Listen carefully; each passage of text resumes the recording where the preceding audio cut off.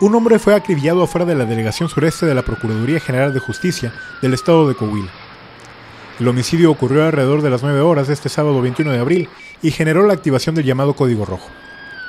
Las autoridades realizaron las pruebas periciales en el lugar para después levantar el cuerpo e ingresarlo al CEMEFO. Trascendió que el fallecido era familiar de uno de los presuntos delincuentes abatidos el viernes anterior durante el enfrentamiento registrado en la colonia Kiosco.